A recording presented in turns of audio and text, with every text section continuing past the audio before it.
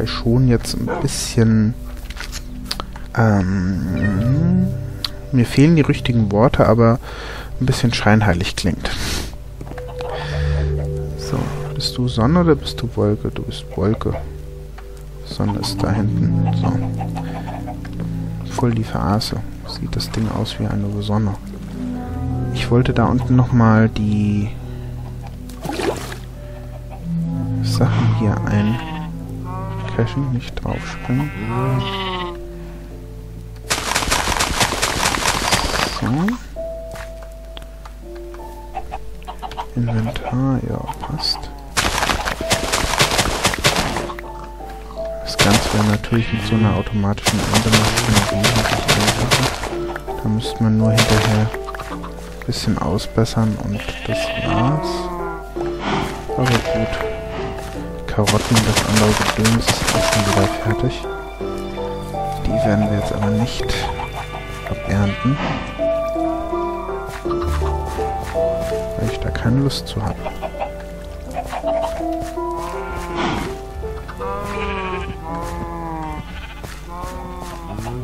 So.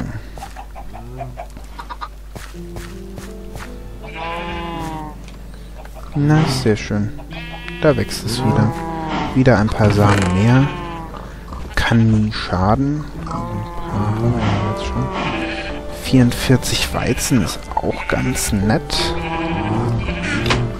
Da fällt mir gerade auf, habe ich das nicht sogar ungefähr so gebastelt, wie die das im Dorf basteln, mit so zwei an der Seite und so. Sehr merkwürdig, woher ich das wohl mir abgeschaut habe. Ach ja, ich finde das da hinten immer noch ziemlich cool, wobei eine Sache mich stört. Das hinten dran, das müsste auch noch Stein sein. Haben wir einen Eimer hier unten, zufälligerweise? Ja. Dann machen wir das doch gerade noch. Dass es nicht aus Erde rauskommt, sondern aus Stein. Das wäre doch mal eine schöne Sache.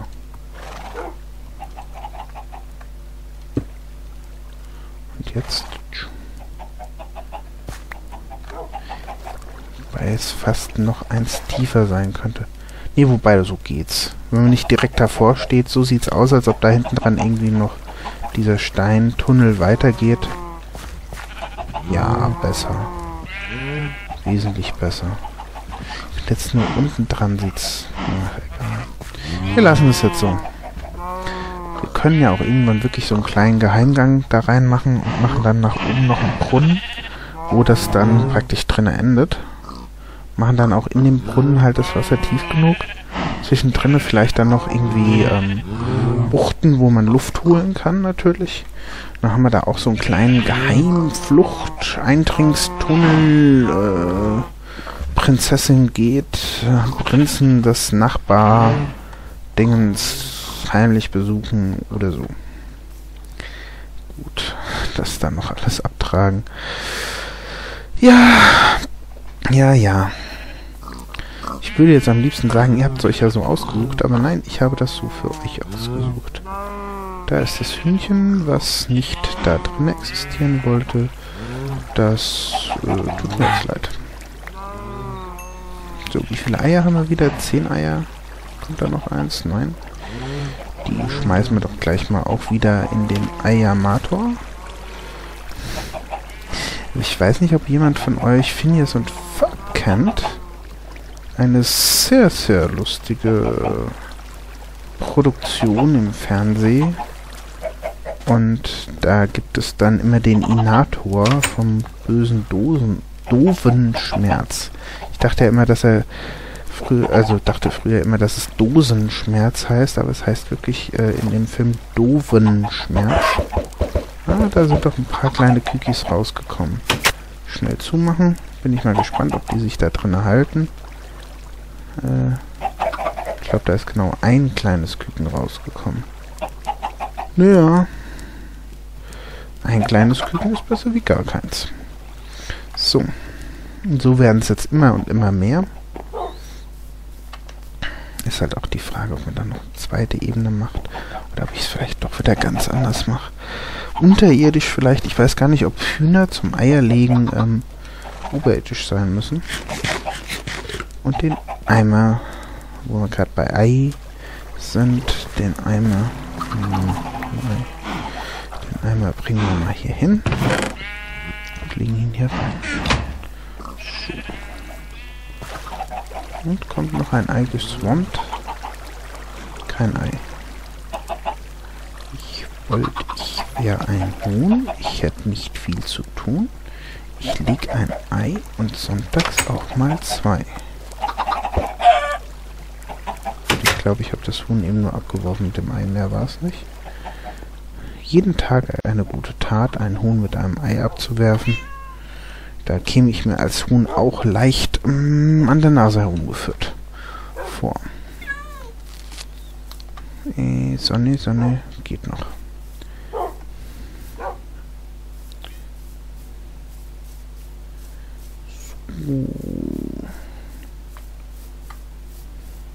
Hier haben wir ja noch ein bisschen. Okay. Ich weiß gar nicht, warum ich das eben gerade nicht zu Ende gemacht habe. Ich glaube, es ist mir... Wo ist mein Bett? Das habe ich da oben aufgestellt und nicht wieder eingesammelt, oder? Gut. Ähm, wie haben wir das mit der Treppe gemacht? Äh, schauen wir uns erstmal die Dragon Construction an. Construction. Wir haben da Half Steps auf jeden Fall genommen. Haben das noch... Nee, wir haben richtige Treppenstufen genommen. Und haben das bis dahin gebaut praktisch. Dann nehmen wir mal äh, Stufen hier raus. Wir haben doch noch Stufen. 13 an der Zahl. Das ist ja schon mal was. Ähm, auch diese hier werden wir jetzt brauchen. Und dann schauen wir mal. 13 Stüfchen, das ist schon mal gut. Ähm, wir lassen die Treppe auf jeden Fall von hier hochgehen. Oder vielleicht sogar von beiden Seiten, das weiß ich noch nicht.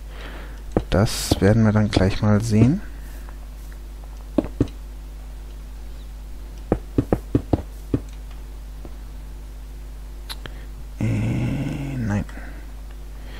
Da sind wir zu weit. Hier kommt man entlang und hier geht man rum. Also kommt hier die nächste Mauer. Oder The Wall. Genau. Dann muss da nämlich auch der Aufstieg sein. Ähm Ausgang wird wieder unter der Treppe sein praktisch... Ich glaube, ich hatte es eins nach außen versetzt. Ich denke dann so. Hier wird dann der Ausgang sein. Das Ganze wird ja auch massiv nach hier vorne gebaut. Genau. Und fängt da oben an mit der Stufe. Die nächste Stufe müsste dann hier und dann da sein. Sodelem. Dann nehmen wir die Stufen zur Hand, äh, lassen die Axt draußen.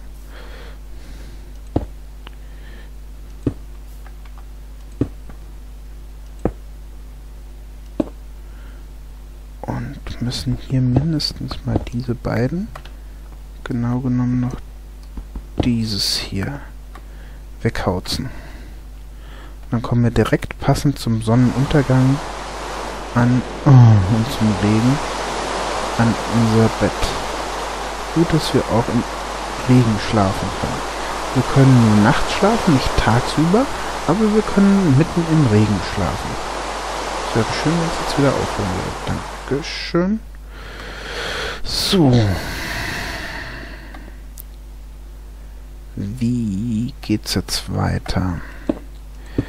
Das hier ist schon richtige Burgmauer da vorne.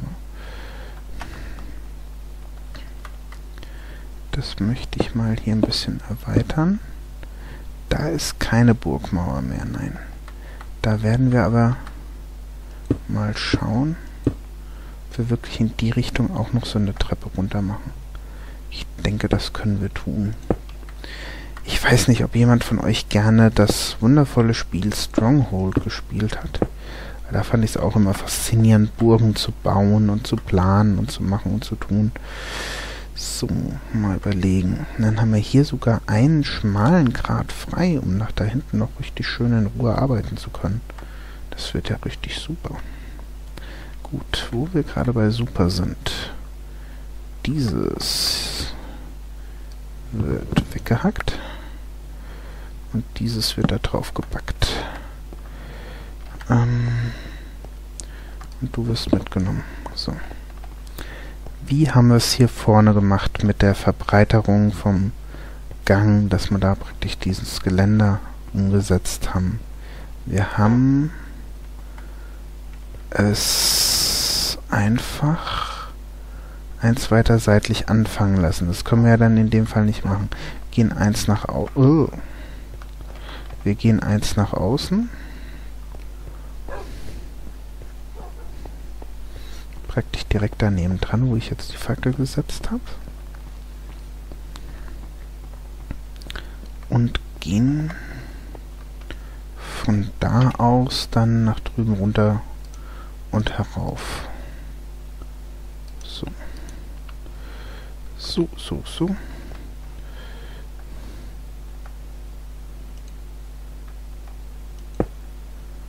Genau. Bis dahin. Halte mal. Wenn wir hier die, die Treppe hochkommen lassen, dann müssen wir diesen Knopf müssen wir noch eins zurücksetzen. Weil, wenn von da die Treppe... Oder wir lassen das nur so, hm? Komm, was, was soll der Geiz? Wir werden hier irgendwo noch ein Tor reinmachen, wobei ein Tor direkt vor einem Berg ist auch blöd. Dann muss praktisch dieser ganze Berg hier auch nochmal abgetragen werden. Oder wir machen das Tor hier drüben auf die Seite irgendwie noch. Wobei wir da auch eine kleine Schlucht dann haben. Machen wir es lieber hier raus machen dann hier irgendwie noch was Schönes hin. Oh. Ich bin noch nicht ganz zufrieden. So, weil normalerweise würde es dann hier so entlang gehen. Und Zäune haben wir jetzt nicht viele dabei. Wobei das noch untertrieben ist. Und dann geht es hier hinten mit dem Zaun entlang nach hier vorne dann. Und dann darüber. Und dann haben wir das eigentlich. Ja, ja, ja, warum eigentlich nicht?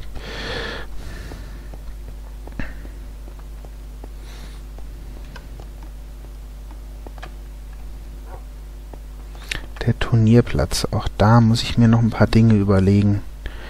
Da will ich auf jeden Fall hier so, so, so Reiterei-Dinger machen. Da nehmen wir dann auch das äh, Kies und äh, machen praktisch dann, wo die Pferde entlang reiten, außenrum machen wir schön, lassen wir schön grasig und dann machen wir in der Mitte so Turnier, äh, Trennen, Stangen, Dingensbummens. Das wird bestimmt lustig. Die würde ich dann auch am liebsten mit, glaube ich, Gartentörchen machen. Ich glaube, Gartentörchen würden sich als Turnier-Mittelstangen wesentlich besser eignen als normaler Zaun. Oder vielleicht sogar hier Metalldinger, aber nee, Metalldinger sehen blöd aus. Die sehen blöd aus, die möchte ich nicht. Gut, neun Stück wieder zurück, die 64 zurück. Äh, die Stüflein. Gut, das da vorne haben wir jetzt erstmal angefangen. Mal wieder was angefangen. Ich würde allerdings auch sagen, ich weiß noch nicht genau, wie lange ich jetzt aufnehme, aber ich werde jetzt mal wieder einen kleinen Cut machen. Das sieht ja schon lustig aus, diese Tintenfische. Müssen wir auch irgendwann mal jagen, um davon bösartigst Tinte zu machen. Habe ja nichts gegen Tintefische, ich würde ja nur ihre Tinte. Und sechs Eier schon wieder. Das nervt mich hier irgendwie, dass man da gegen den Strom anschwimmen muss oder außenrum gehen muss. Die, die ja, Hühnerfarm werden wir irgendwie anders da machen. Das war für, für den ersten Versuch, wo ich das für mich selber mal geplant habe, war das jetzt ganz nett. aber ich denke nicht, dass das ähm, so gut ist.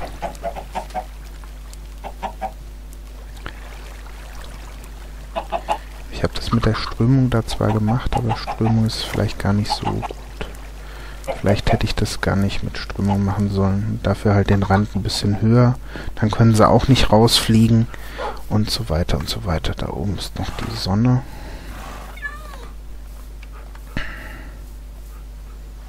Habe ich den ersten... Nee, habe ich auch hier direkt auf die Mauer laufen lassen. Na gut. Ein bisschen Zaun, hätte ich vielleicht noch irgendwo verschüttelt. 18 Zaun, das ist auch mal ein Anfang. Wird ja fast auch ähm, die Treppe hoch noch breiter machen, aber stände dann nicht in äh, Relation hier oben zu der Breite des Wehrgangs. Den ich natürlich auch noch breiter machen könnte, aber eigentlich auch das nicht möchte. Genau, und dann geht's hier herum. So. So wird ein Schuh draus. Wie habe ich das da vorne befackelt? Ich denke ungefähr so. Das geht schon. Ja. Hm.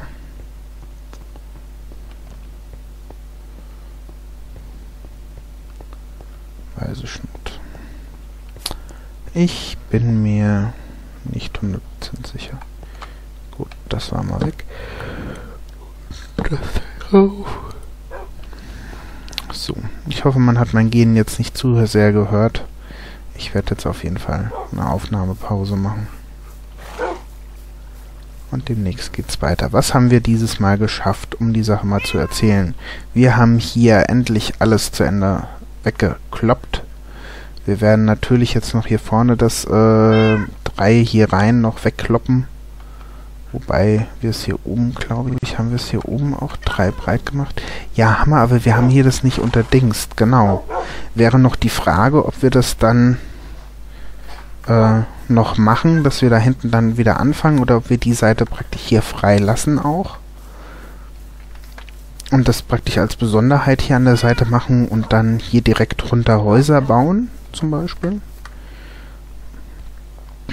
Und, ähm, dann, was haben wir noch gemacht? Wir haben drüben jetzt angefangen, die Mauer zu ziehen, was ja auch schon mal ein Riesenvorteil ist. Okay. Äh, was ja auch schon mal ein Riesenvorteil ist, weil wir da ja dann auch im Endeffekt dann endlich mal weitergekommen sind.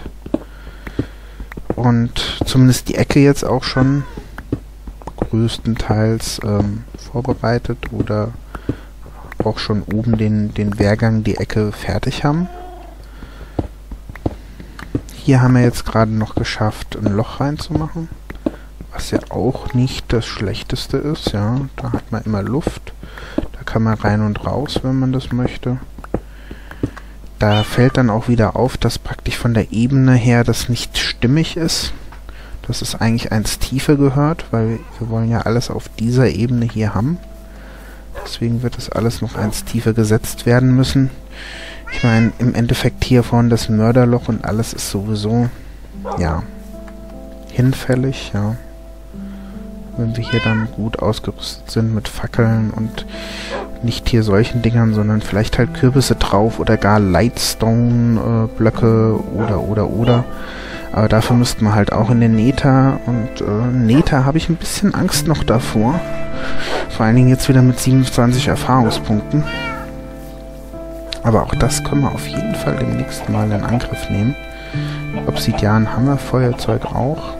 Die Sonne geht unter. In den letzten Minuten dieser Aufnahme. Ich hoffe, es hat euch Spaß gemacht.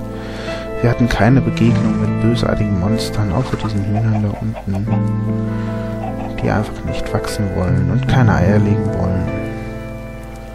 Ähm, ja, nun gehen wir schlafen in unserem Häuschen, wo es immer mehr durchzieht. Hier vorne ein Luftloch, da hinten ein Luftloch, überall ein Luftloch. Durch den Amboss kann aber auch keine Kreatur reinkommen.